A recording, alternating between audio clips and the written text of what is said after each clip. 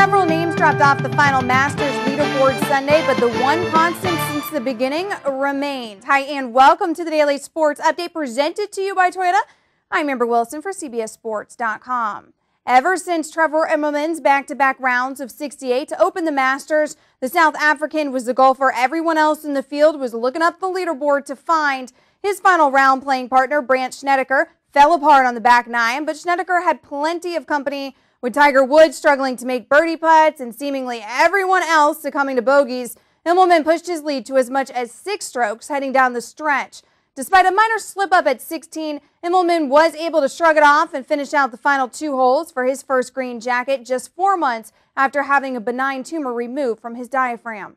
You know, just to be a major champion and be a champion here at the Masters is, uh, you know, that's what I've dreamt about since I was a very young man. And, uh, you know, at times you doubt whether you're good enough to get it done. And at times when things are going wrong, you wonder if it'll ever happen. But, uh, you know, I'm living proof that if you work hard and, and, believe in yourself, it can happen.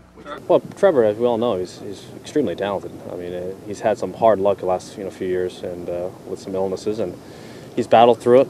And um, it's just a matter of time before he was going to break through. I mean, he's got all the talent in the world.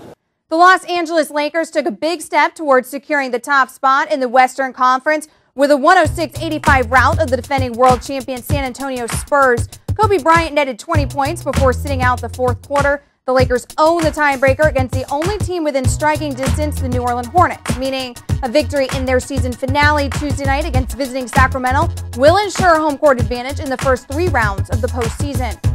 On the diamond, the Red Sox took the rubber game of their three-game set with the rival Yankees in a sloppy 8-5 win. The teams combined for 14 walks in a game that lasted nearly four hours. Daisuke Matsuzaka improved to 3-0 on the young season despite a subpar outing, while New York starter Phil Hughes was shelled for seven runs in just two innings of work.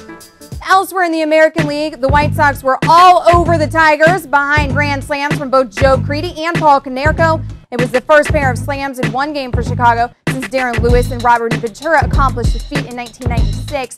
Javier Vazquez stuck out nine and seven shutout innings to hand Detroit its major league worst 10th defeat.